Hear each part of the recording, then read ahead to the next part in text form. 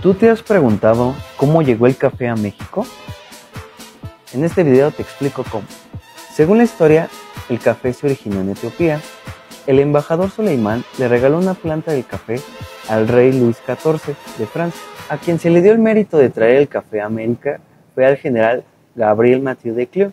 En 1720, el general aprovechó uno de sus viajes a Francia y se dice que robó una de las plantas del jardín porque era el único lugar donde había árboles de cafeto en Francia. La planta atravesó desde Europa hasta América en las aguas del mar Atlántico. Fue un viaje un poco rudo. A pesar de las dificultades y del largo viaje que emprendió de Francia a este lado del mundo, pudo llegar junto con la planta.